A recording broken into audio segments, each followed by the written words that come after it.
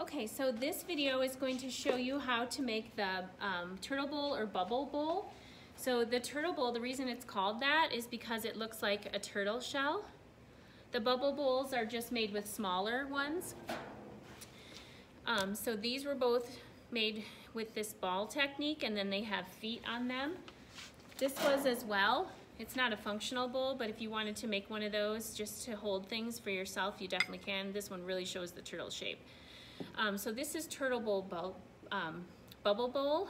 There are also method, um, the same technique, it's press molding in a slump, where you use the cookie cutter and slab to create um, a bowl like this one, or this one is more smoothed out. They didn't leave the texture. So there are several ways that you can create this um, turtle bowl form. So you need a bisque bowl or that slump mold. Um, they work better inside for a slump, press molded slump mold. So it's pressed in, that's why it's called press molded. So the first thing you need to do is to roll a bunch of balls of plastic soft clay about the same size. So the bubble bowl tends to be a lot of small balls and you wanna um, keep them moist, so keep them in a Ziploc or plastic bag as you're building with these balls of clay. So the way this works is you just start out by putting it into the um, base and pressing down with your thumb a little bit. You don't wanna make it too thin. And then it's really important that you overlap. After you're done overlapping, you smooth each time. So the first couple will move around a little bit, but then once you get more of the clay in there, they'll start to um, attach to themselves really well. So you just start to press mold those balls of clay and make sure you're really smearing that clay because we're not slipping and scoring here. You don't need to for this if you work quickly with really soft plastic clay. Okay, so you're really pressing down, um, but not too thin, and really smearing it together and applying pressure, but not making it too thin. So you just continue to add your balls of clay and if you want it to be functional, which is what you want for your empty bowl, you don't want to leave any holes. If you want to create this look on your own, you can do that later. So you just continue. It's okay if it comes out a little thick at first because once it's leather hard, like we did with the tea bowls, you can scoop some of that extra clay away. So you just continue then going up the sides, overlap, smear, overlap, smear. The really nice thing about a turtle bowl is that the turtle bowl can come out of the mold immediately. You don't need to put it by the fan and then you let it firm up to leather hard on its own. So that works that way.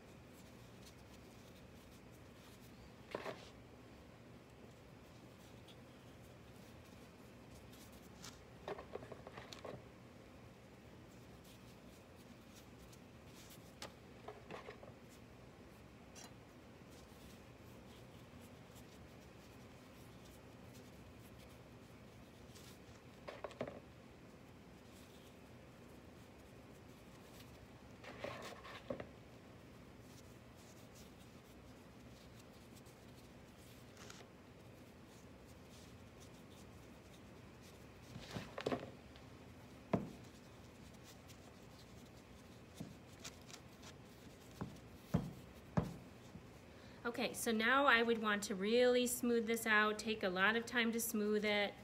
Like I said, um, you can go back in and remove some of the weight because this would be a very heavy bowl, but just really smooth it so it's smooth inside, but also so that um, you're moving some of that weight up. So again, with the turtle bowl, it can come right out of the form. Don't fold it over the edge when you're building it, and then it'll come right out and it will look like a turtle. Don't worry if the clay has a little bit different color. We just got some fresh clay and when it fires, it'll be the same.